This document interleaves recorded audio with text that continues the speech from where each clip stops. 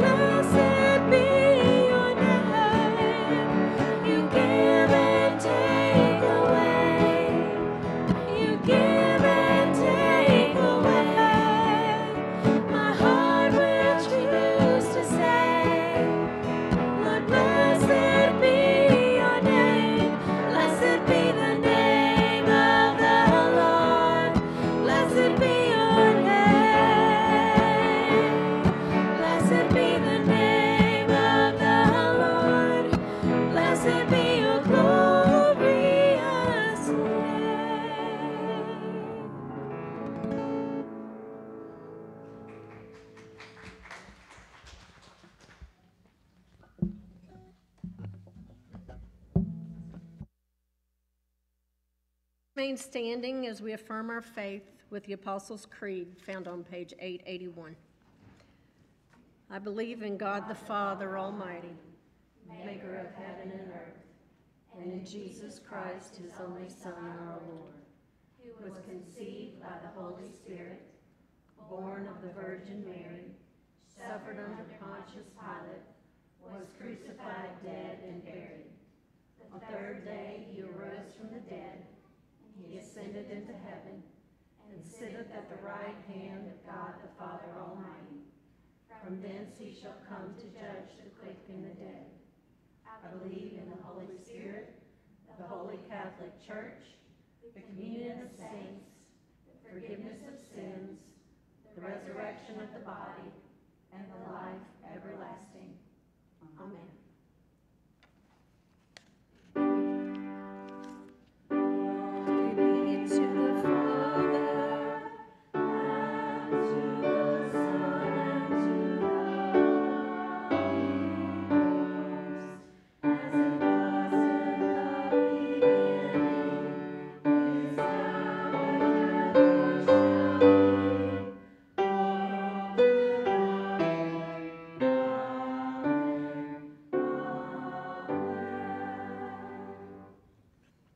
May be seated.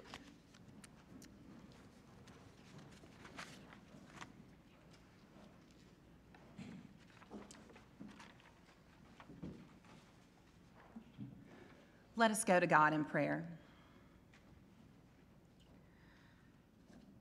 Gracious Heavenly Father, on this Trinity Sunday, we admit that there's so much that we don't understand about your triune nature.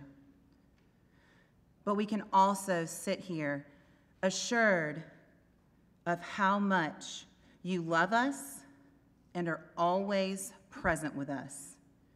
And that is something to be grateful for. Thank you so much for sending your son to die for our sins. Thank you so much for the gift of the Holy Spirit who guides us each and every day. We are so grateful. But we also, some of us sitting here, are hurting, are suffering, some in pain, some in need of healing, some with heavy hearts for the world, the community, family members. So I'd like to take a moment of silence so that we can lift up in our hearts all that we need for you to carry because it's too heavy for us to do on our own.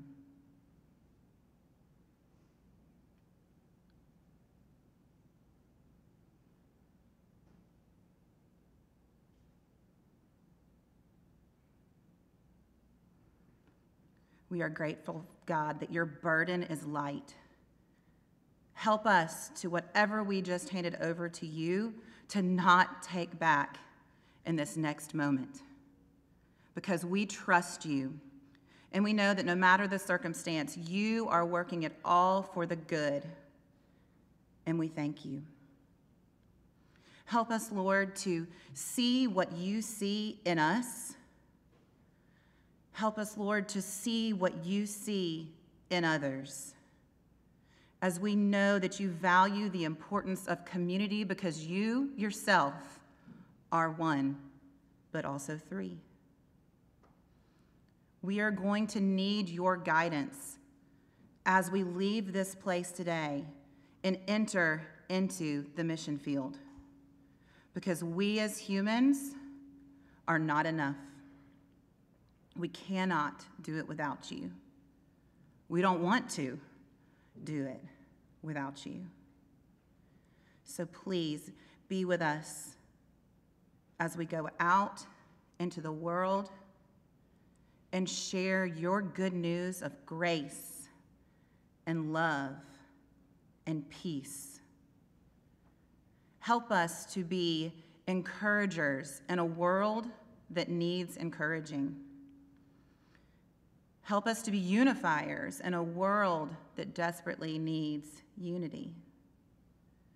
Help us to be peace filled even when things aren't peaceful. And God, even when we cannot find the words to pray, we are so grateful that Jesus taught his disciples the prayer that we are about to, with confidence, say together today, saying, Our Father, who art in heaven, hallowed be thy name. Thy kingdom come, thy will be done, on earth as it is in heaven. Give us this day our daily bread, and forgive us our trespasses, as we forgive those who trespass against us. And lead us not into temptation, but deliver us from evil. For thine is the kingdom, and the power, and the glory forever. Amen.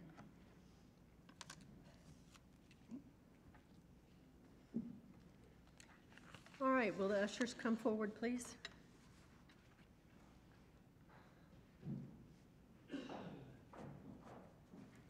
Please bow your heads. Lord, you have blessed us and loved us in so many ways. We pray that these gifts we are about to receive will be used to shower blessings on others and help to bring more disciples to you. Amen.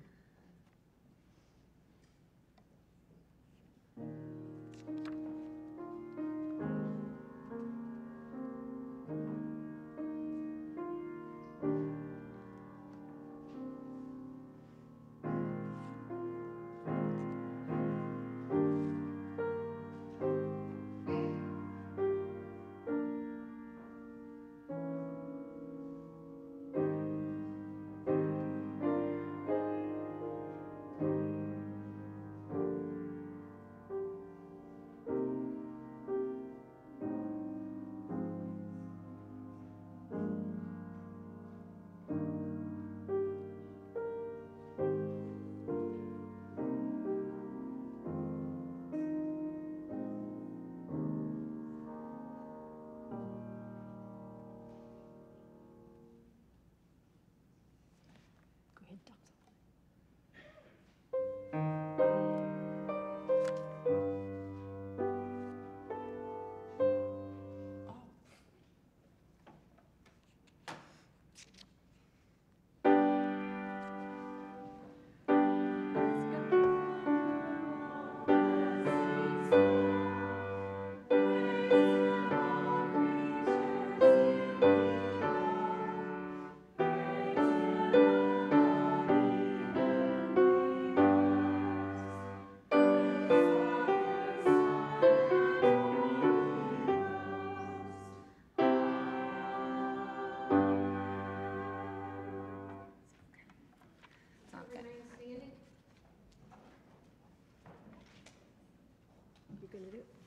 For the hymn.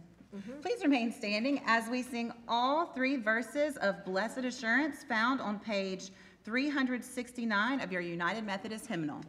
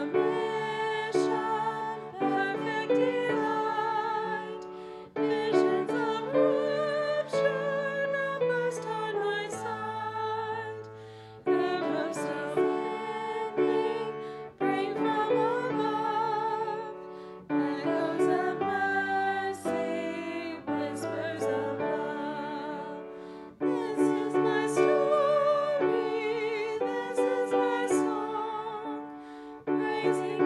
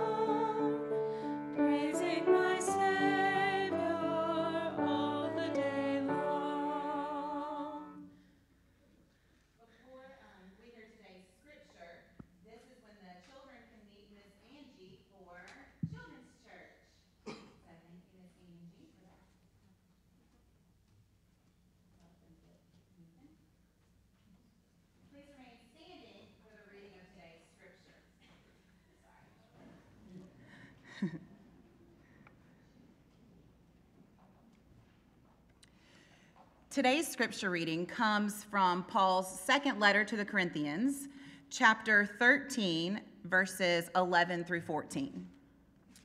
Hear the word of the Lord. Finally, brothers and sisters, rejoice, strive for full restoration, encourage one another, be of one mind, live in peace. And the God of love and peace will be with you. Greet one another with a holy kiss. All God's people here send their greetings. May the grace of the Lord Jesus Christ and the love of God and the fellowship of the Holy Spirit be with you all. This is the word of God for the people of God. Thanks be to God. You may be seated.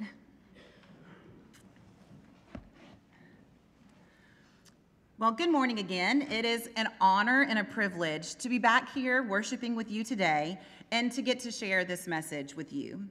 I hope you had a happy Pentecost last Sunday, and I'm not going to lie, I was relieved to not have to preach last Sunday and read all of those hard names and places and the Pentecost scripture from the book of Acts.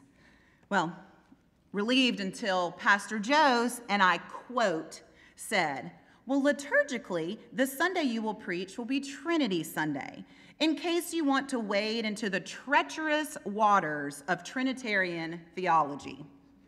Thanks, Pastor Joe. Um, I, I, to be honest, last year I was in charge of the children's moment at our church on Trinity Sunday, and I couldn't even write that, much less an entire sermon on the Trinity. So let me go ahead and ease your mind now. I'm not going to pull out any of the bad analogies for the Trinity for us today. I'm not going to take an egg and show that the white and the yolk and the shell, because those are actually three unalike parts, so that one doesn't work. Um, I'm not going to take water and then freeze it and then vaporize it as another bad example, because one single water molecule cannot exist in all three states of matter at one time. And thankfully, I didn't pick any three leaf clovers to show the Father, the Son, and the Holy Spirit. But I am 100% guilty of speaking in an Irish accent during a children's moment one March a few years ago, and it may or may not have started with top of the morning to you lads and lassies. And so um, I promise now that I know better, I will do better. So, so welcome to Trinity Sunday. And although I'm not going to wade in the treacherous waters of Trinitarian theology or use bad analogies to underexplain the Trinity, I do want to take a moment and acknowledge why this scripture was chosen for Trinity Sunday and give you some applications for our lives moving forward as those who believe in the Trinity. So, before moving forward, let us begin by reflecting on this nature of the Trinity God the Father, God the Son, and God the Holy Spirit. It is a divine mystery, a perfect communion of love, harmony, and unity. And within this triune relationship, we see encouragement, support, and a shared purpose. From the commentaries I've read, 2 Corinthians 13 14, or it is actually verse 13 in some translations, in its original context, Paul isn't necessarily explicitly teaching on the Trinity here to the Corinthian church, but in relation to this scripture being chosen for today's purposes, the Center for Excellence in Preaching writes Given this Sunday's relentless call to Christians to live in community, it might be appropriate to think of the community that is the Trinity working to deepen the community that is Christ's church.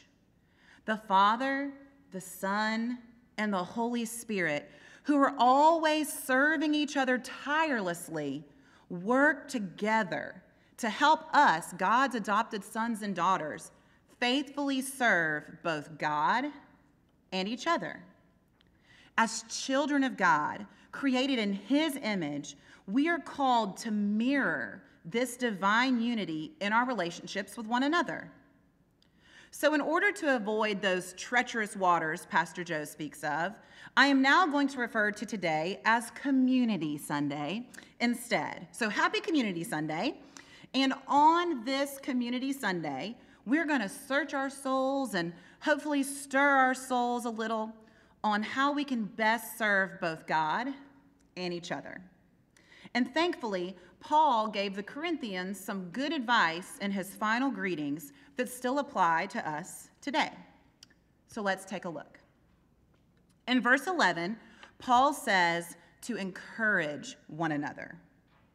In our fast paced and often isolating society, encouragement has become a precious commodity. We live in a world where many are weighed down by burdens, doubts, discouragement. And as the body of Christ, we have the opportunity and the responsibility to provide a lifeline of encouragement to one another. Through our words, our actions, and presence, we can uplift and inspire others, reminding them of their worth, their gifts, their purpose in God's kingdom. Let us be intentional in offering genuine and heartfelt encouragement to our fellow believers, spurring one another towards love and good deeds. We can offer words of encouragement, support, and affirmation to uplift one another. But encouragement is not nearly a kind word or a superficial gesture, it goes deeper than that. And it involves seeing the potential and the unique gifts in others and helping them to recognize and develop those gifts. It means offering a listening ear, a comforting presence, words that inspire hope. Encouragement is about helping others believe in themselves and reminding them that they are loved and valued by God. 1 Thessalonians 5:11 says, "Encourage one another and build each other up." So I have a few questions for you. When was the last time you slowed down and shared a word of encouragement with someone? We all know that people often hear from the squeaky wheels and the negative, but how often do you send a text or an email or even write a handwritten note letting someone know you're thinking about them, praying for them, or thanking them for a job well done?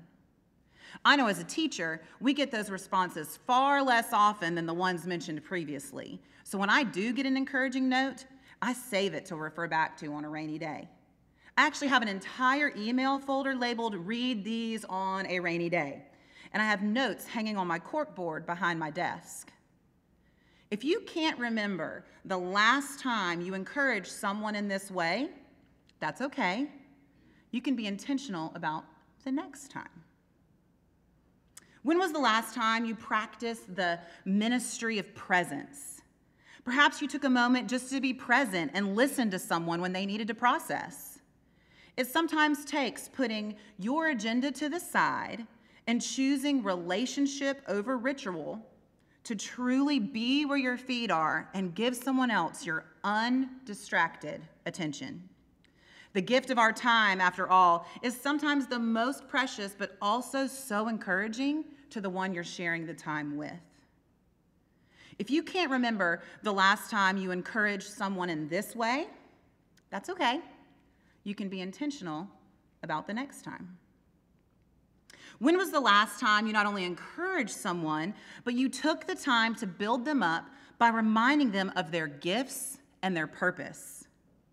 I belong to a small group that meets on Sunday nights, and we did an exercise one week where we did just that. Some of us have been in the group for about a year, and others had been in the group for several years. We had just studied spiritual gifts, and our leader provided us with a stack of note cards. Before the next Sunday, we all took our note cards home to complete an exercise. We were to write a card to each group member identifying and affirming their gifts. We described the gifts we saw clearly in each person, and beneath each gift, we added a few words describing how and where we've seen this gift in them. We also mentioned gifts that we saw like potential in each person. And then the next Sunday, we exchanged our cards and we all shared out a little bit. It's amazing the power and the clarity that comes when people see in you what you can't always see in yourself.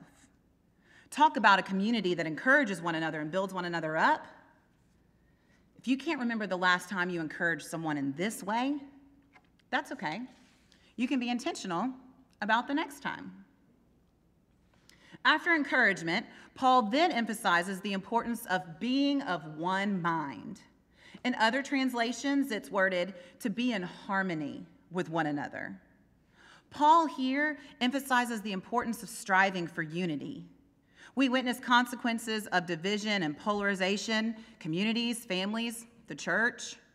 And it doesn't mean that unity is that we all think alike or agree on every issue. It means recognizing our common purpose and setting aside our personal agendas for the greater good. As followers of Christ, we are called to transcend these divisions and pursue unity.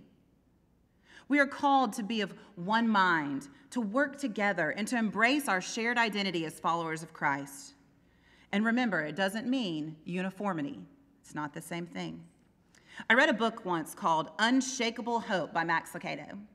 And he speaks of unity being of one mind, working together in and through diversity, much like Paul does by asking his readers to consider an orchestra. To create the harmony needed for a beautiful sound, it takes all types of different instruments playing all different notes. Some instruments are shinier than others, and some instruments are louder than others, and some instruments only play the harmony notes, which, by the way, without any of the other instruments, would actually sound quite dreadful. Um, yet, if we only had the melody notes, the sound would definitely be lacking depth. All instruments are needed, all notes are needed to be complete one not more important than the other, one not able to make a complete sound without the other. This is much like we, as the body of Christ, work together to serve God and others in community through our diverse gifts. Every gift is needed, every member has a gift. Max Lucado also shares in that same book that the Holy Spirit distributes gifts according to what the church will need in a particular region and season. Now, we cannot deny that we are in a tough season in our world, in our denomination, everywhere. But to everything, there is a season, and our bishop at last year's conference said it best when she said, and it's always the right season to make disciples. When gifts are active, the church is empowered to do the work for which it was intended. When was the last time you used your spiritual gifts alongside others to be the hands and feet of Christ in your congregation or your community? Are you aware of your spiritual gifts? Are you aware of others' spiritual gifts? Have you explored opportunities in your congregation and community to ignite and unite together using these gifts? If you can't remember the last time you united and ignited in this way, that's okay. You can be intentional about the next time. Gone is the excuse, I just can't work alongside so and so. Max Lucado says, well, maybe you can't work alongside so and so, but the spirit within you can. We are one in the Spirit, as one of my favorite songs says, and that one Spirit provides us with the gifts and the direction and the guidance necessary to accomplish God's work together. After all, you can't even say community without saying unity, so we need it. Along with encouragement and unity, Paul so all also advises us to live in peace. Now, talk about something that is easier said than done. I do think that encouragement and harmony that we've already mentioned do affect this living in peace, but I also think it's worth mentioning separately here, as Paul does as well.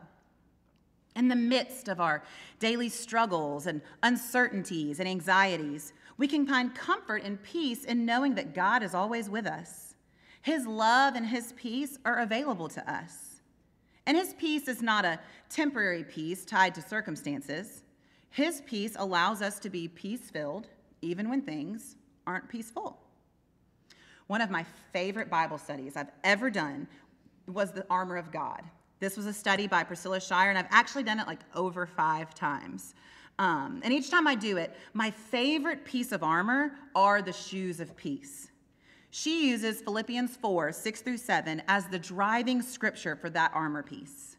Be anxious for nothing, but in everything, by prayer and supplication, with thanksgiving, let your requests be made known to God. And the peace of God, which surpasses all comprehension, all understanding, will guard your hearts and minds in Christ Jesus. Two key words with thanksgiving, she says, with gratitude. Gratitude is what activates our shoes of peace. The peace of Christ is in us thanks to what he did for us on the cross. And even in the midst of dire circumstances, there's always something to be grateful for. This peace beyond comprehension is activated when we take the time to be grateful. The backdrop of commotion is actually the best place for the peace of God to be put on display. So, when was the last time you added thanksgiving and gratitude to your prayers and supplications?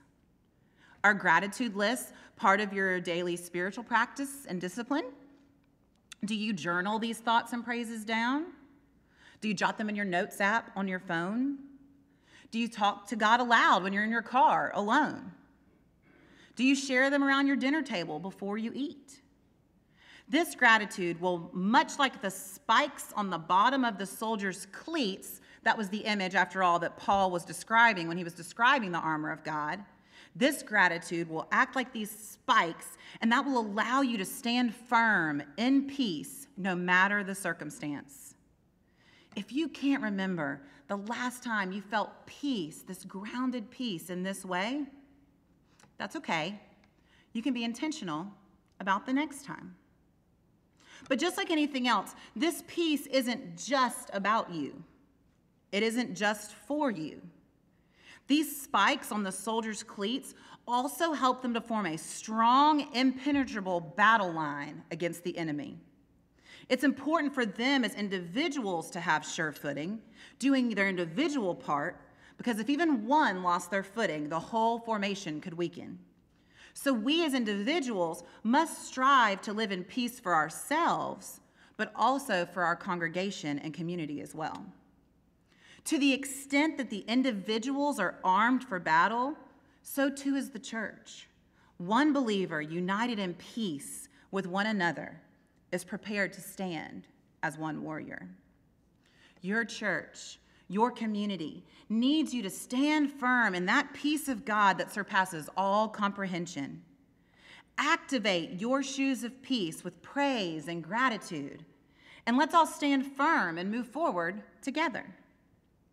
Priscilla's father actually is the famous pastor and author Tony Evans, and he's often been quoted about peace. He says, Peace does not mean that you will not have problems. Peace means that your problems will not have you.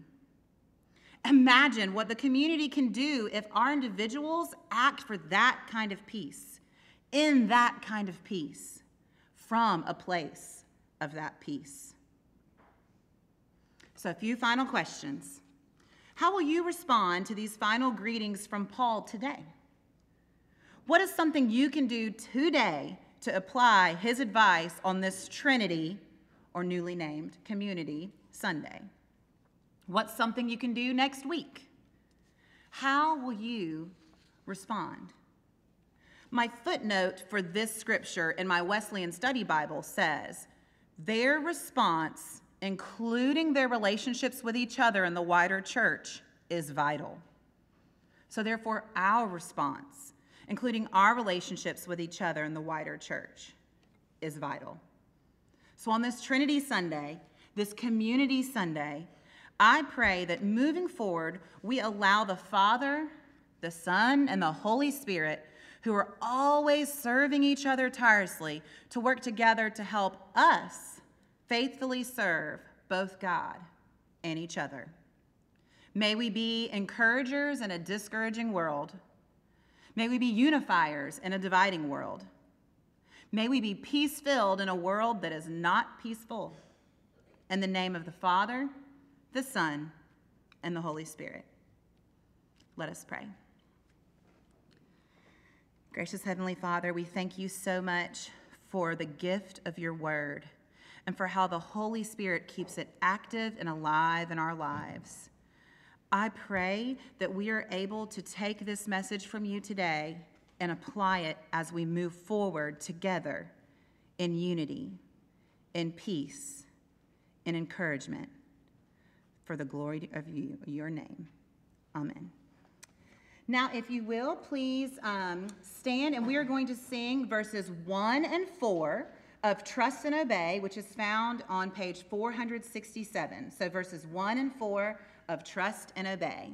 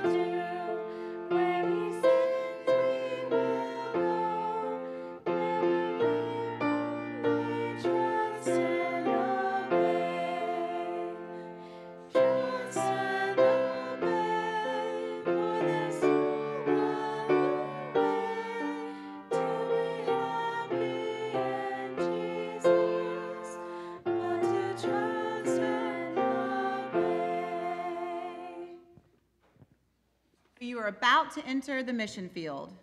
May the grace of the Lord Jesus Christ and the love of God and the fellowship of the Holy Spirit be with you all.